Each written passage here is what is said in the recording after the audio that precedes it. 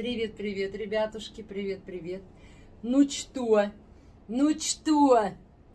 У меня сегодня делала картошечку с курочкой в духовке. Рис с мясом. Смесь бульдога с носорогом. Так, что-то еще надо нам, да? У меня вот такие томатики есть. Сейчас мы их достанем. Только после душа. То опять будете гнать, что я не причесанная. Все, поговорила с Наташей Фальконой, все. С Винсентом все в порядке. Фу, операция прошла нормально. Дай Бог здоровья, Господи. Такие хорошие люди, пускай подольше живут. Куда ты от меня спрятался?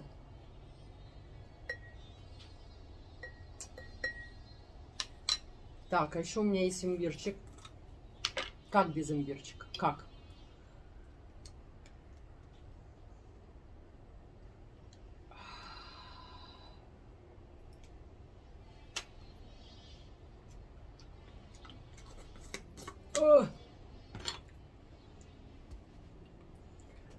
А что-то я как-то, блядь, вилка, ложка, непонятно что.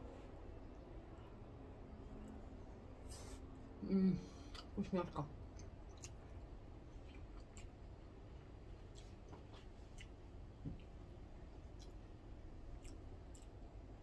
Тоже вот у нас в деревне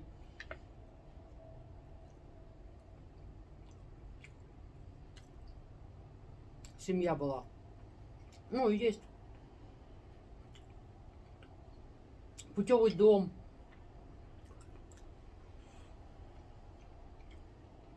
Бабушка с дедушкой. Ну, в смысле, мама с папой. Хозяйство. Зажиточные такие. Дети все путевые выросли.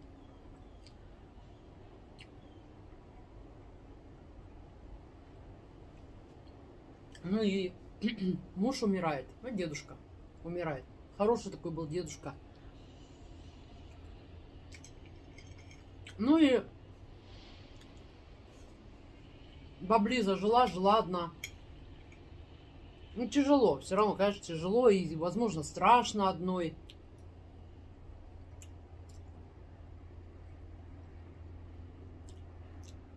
А дети жили в общаге в другом городе. Ну, вроде, что вы будете там э, жить в общаге, когда вот большой дом, а там у дочки муж, дети, ну, уже такая состоявшаяся взрослая семья. Путевые все такие. М -м. Вкусняшка. Картошка с луком, с чесноком, с ранчем, сметана с майонезом. Ни капли жира. Ну, хотя, блядь, вы знаете все. Курочку также маринуйте, сверху укладывайте.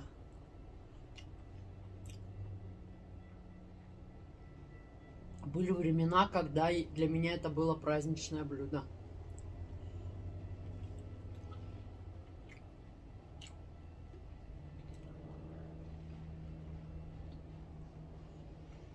Ну и короче, Приехали дети.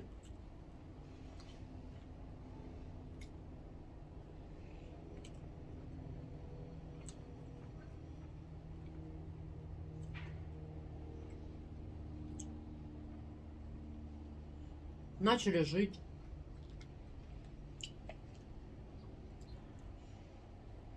Ну и никто, ну понятно, пожилой человек. Огород, теплица, дом большой. Конечно, никому не хотелось, чтобы она там вкалывала. Тем более при э, взрослых внуках, дочери, детях. Ну, как бы, все понятное дело. Блять, как мне этот бланш. Смотрите, какая красивая без бланша и какая с бланшем. Вот. Я вроде, мам, это я сама. Мамуль, это мы сами. Мамуль. И она... А, и знаете, что началось? А, ну и плюс еще все равно она привыкла быть в доме хозяином, хозяйкой. А тут зять.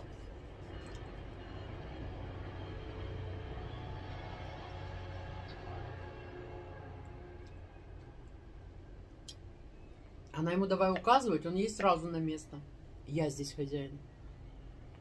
Я здесь мужчина.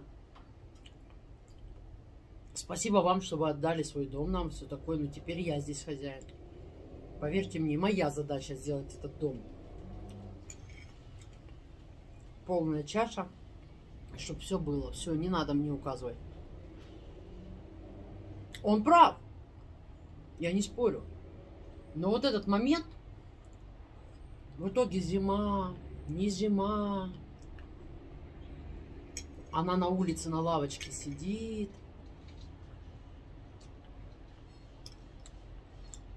Одна.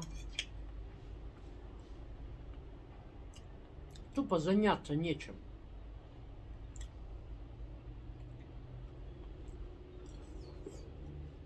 У нее вроде и сил уже ни на что нету. А почему-то обидно. А почему-то тяжело. Стала плохо себя чувствовать.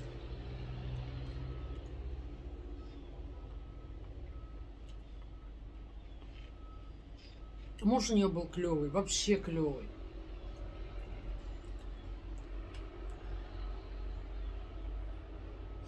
Просто человек, вот дети детьми, у них своя жизнь.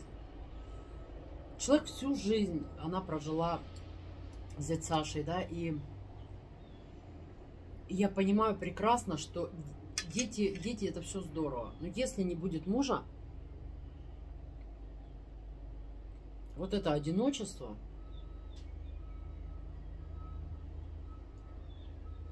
поэтому, Глюсочка, ты не можешь меня одну оставить, не можешь, я должна первой умереть. Я как вспомню вот эту вот лавочку ее на лавочке. Я так не хочу. Я не хочу быть в поиске кого-то. Не хочу. Я, для меня вообще, мне кажется, это... Я, я только за, если женщине вдруг а, удается справиться со своим внутренним чем-то. И после смерти мужа, с которым она прожила всю жизнь, ну, например, как вариант выйти замуж. Никогда в жизни бы таких не осудила. Только то молодцы.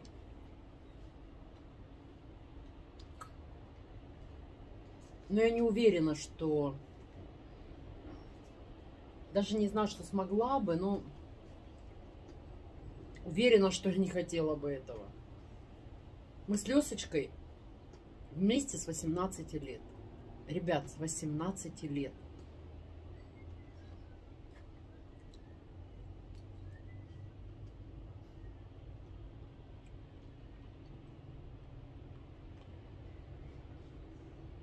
Поэтому,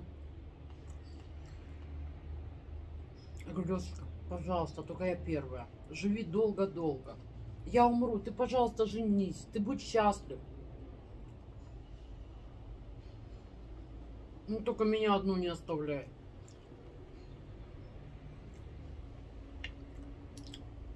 Он обещал.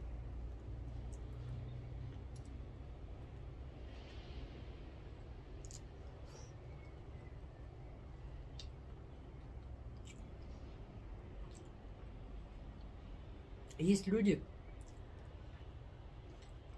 которые всю жизнь меняют мужей тоже не осуждаю. Но мне кажется, у этих людей все-таки уже как-то есть привычка на перемены.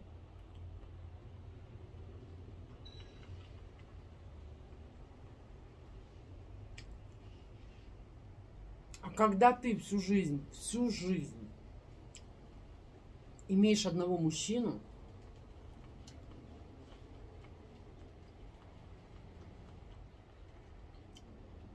который терпел тебя кривой, больной, толстой, злой, ленивой, и все равно был с тобой,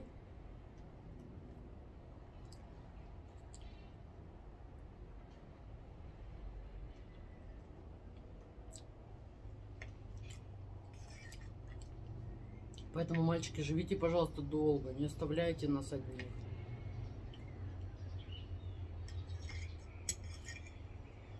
Долго, долго, долго.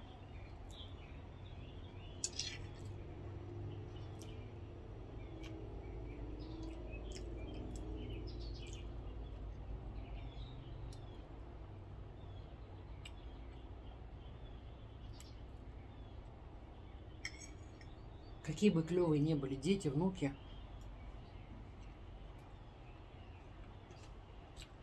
Это не партнеры по жизни.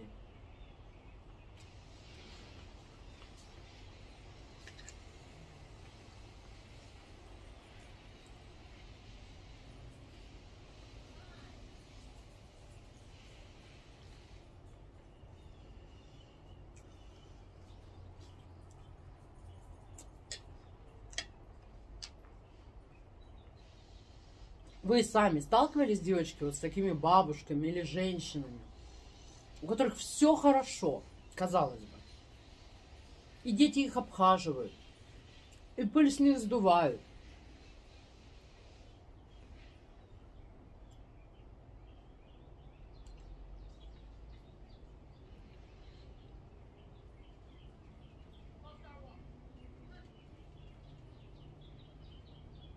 А все печально. Потому что партнер по жизни он должен быть. И те, кто остается одни,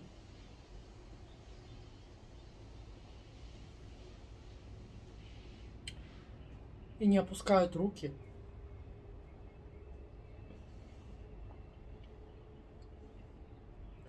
Возможно, кого-то себе находят.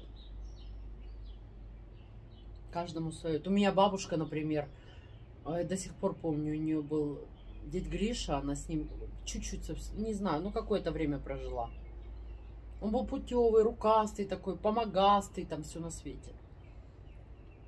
Но у них были скандалы, и даже пару раз она от него получала за то, что она помогает детям своим.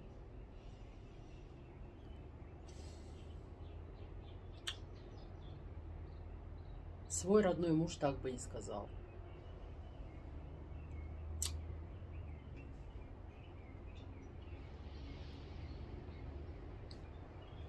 Свой папочка не сказал бы так.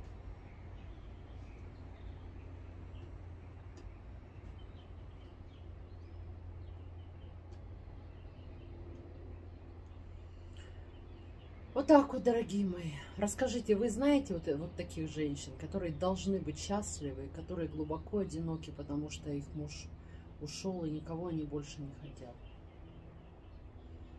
И дети вроде бы с ними пытаются поддержать, пытаются помочь, пытаются облегчить жизнь. А наоборот получается. Я сейчас анализирую, может быть, не надо было ей говорить, мама, мы сами, мама, мы тут, мамочка, отдыхай. А наоборот, чтобы она была чем-то занята. Хоть чем-то легеньким, может быть, но чтобы она была занята, чтобы она отвлекалась. Может быть, наверное, чтобы у нее была какая-то своя э, часть в жизни дома, да, например.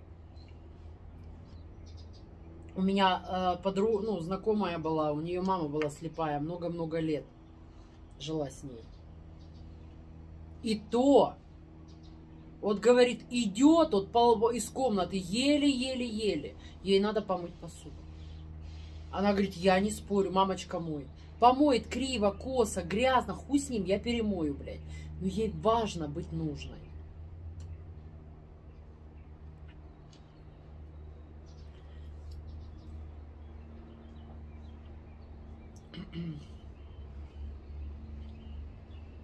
Поэтому, как бы вы ни говорили, да, может быть, я грубая иногда, может, я гундява иногда. Нет, ну, во-первых, Лешечка не такой тихий, каким вы его видите. Я серьезно вам говорю. Если вам так кажется, значит, вы далеко не дальновидные люди. Он спокойный, все, но может так орать, может так визжать. Я говорю, мы когда учились на траке, он так орал, я э, настолько пугалась, я аж руль э, у меня выпадал из рук. Поверьте мне, он может быть жестким, он всяким. Нет, конечно, большей части он меня терпит. За это я, я его обожаю. За то, что он все мои слаб... Лесочка, помоги мне, пожалуйста. Лесочка вот тут вот. Лесочка, обними меня, пожалуйста. Лесочка это. И мои слабости он терпит. В этом он мужчина. Мужчина, вот как раз сила мужчины в том, что вот он, вот, вот он принимает эти слабости. Хотя тоже бывает такое, что и как гаркнет, блядь, еще и похуй ему на твои слабости. Всякое бывает.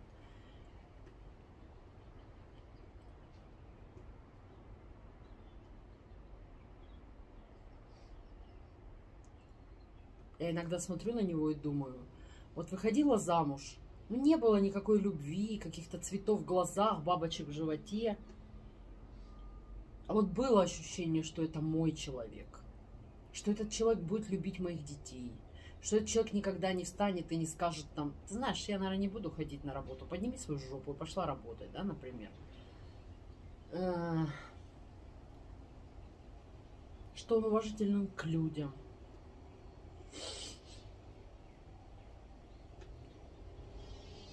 я не знаю, ну вот как-то вот чуйка, знаете, вот говорят, самка, она, э, ей надо больше даже не любить. Настоящая самка, она подбирает лучшего самца для жизни в семье, для, для детей, для души, для уважения. Вот я даже всегда говорю, не так важна любовь, как уважение.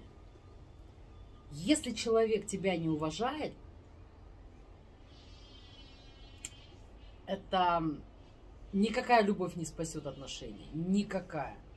А я вообще сама по себе. Если, а, если меня не уважают, если не ценят мой прозорливый мозг, мне даже не столько важно, чтобы нравились мои сиськи, сколько мне важно, чтобы нравился мой мозг.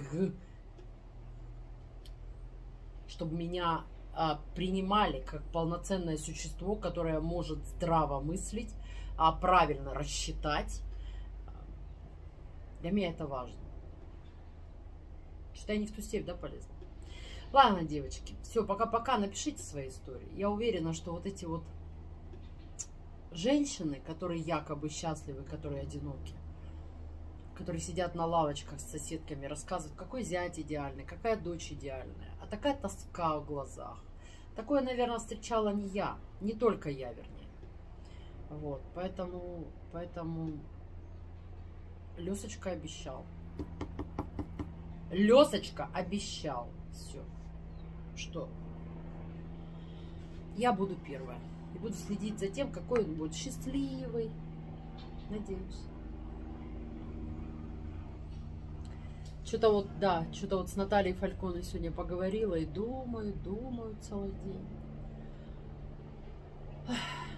Я Лешечке говорю, это последний, а, последнее, самое сильное проявление любви будет. Если ты будешь дольше, чем я.